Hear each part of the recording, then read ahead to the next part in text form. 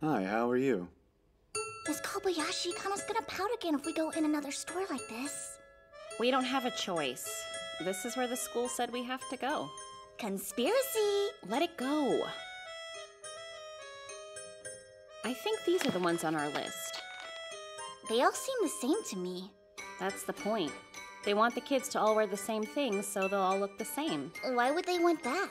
Hmm. So no one feels different? Boys, girls, new students, everyone is supposed to be exactly the same as everyone else. It's a big deal. And what happens when you're different from everyone else?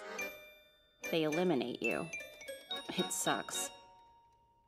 I know it might be different for dragons, but humans aren't that accepting of people who are different from them. That's ludicrous. Yeah, I completely agree with you. The truth is, people are just terrified.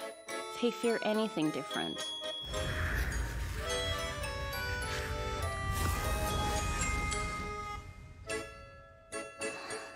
I kind of understand.